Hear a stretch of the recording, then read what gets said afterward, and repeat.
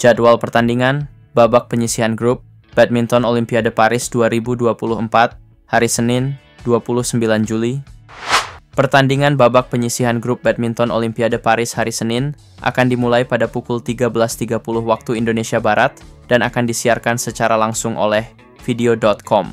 Pertandingan pertama di court 1 akan dibuka oleh partai ganda campuran yang mempertemukan pasangan Cina, Feng Yanze, Huang Dongping, melawan pasangan Malaysia, Chen Tangji, Toh Ewei.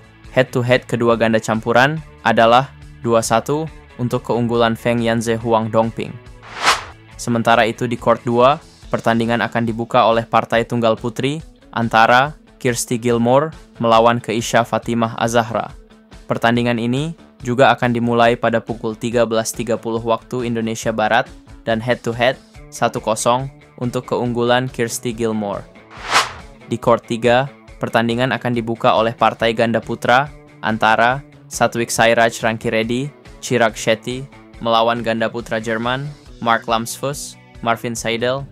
Pertandingan ini akan dimulai pada pukul 13.30 waktu Indonesia Barat dan head-to-head kedua pasangan 1-0 untuk keunggulan Satwik Sairaj, Rankiredi, Chirag Shetty.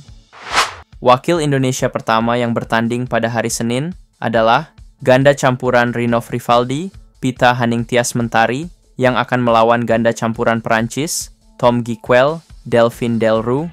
Pertandingan Rinov Pita merupakan match ketiga di court 3 dan dimulai sekitar pukul 15.10 waktu Indonesia Barat. Head-to-head kedua ganda campuran adalah 2-1 untuk keunggulan Rinov Pita. Di pertemuan terakhir mereka, Rinov Pita berhasil menang dengan skor 21-14 dan 21-15. Selanjutnya, wakil Indonesia kedua yang akan bertanding di pada hari Senin adalah ganda putra Fajar Alfian Muhammad Rian Ardianto yang akan melawan ganda putra Prancis, Lucas Corve, Ronan Labar. Pertandingan Fajar Rian merupakan match keempat di court 3 dan dimulai sekitar pukul 16 waktu Indonesia Barat. Head-to-head kedua ganda putra adalah 1-0 untuk keunggulan Fajar Rian.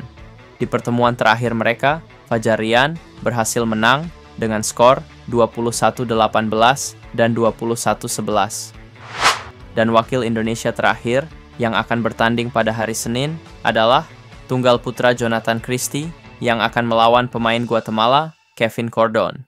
Pertandingan Jonathan melawan Kevin Cordon merupakan match kelima di court 2 dan dimulai pada pukul 19 waktu Indonesia Barat.